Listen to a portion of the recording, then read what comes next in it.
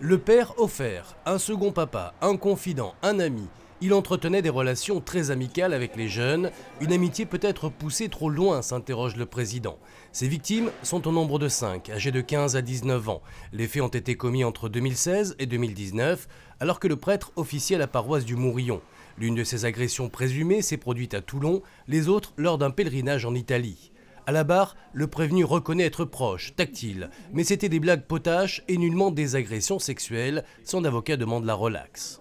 Des blagues potaches qui sont vieilles, hein, euh, qui ont, qui ont 200 euh, ans, 300 ans, dans lesquelles on vous donne euh, comme ça, sans prévenir, un coup par exemple dans, le sexe, pas fort, hein, ça fait un peu mal, pour lui dire fais attention, à tout moment il y a quelque chose qui peut arriver, et au niveau sexuel en particulier. C'est pour ça qu'il avait fait ça en fait. Mais c'est pas du tout une infraction pénale. Pourtant, la procureure relève que ces jeux étaient à connotation sexuelle, visant à toucher les parties génitales des jeunes, des jeux dont Olivier Offert était toujours à l'initiative, la partie civile acquiesce. Moi, je ne considère pas qu'on est sur du jeu débile. Je ne pense pas qu'un euh, adulte avec un jeune puisse avoir ce genre de comportement. Et d'autant moins quand on est dans un rapport, malheureusement, parce que je, je le regrette, mais quand il s'agit d'un prêtre, ça me dérange d'autant plus.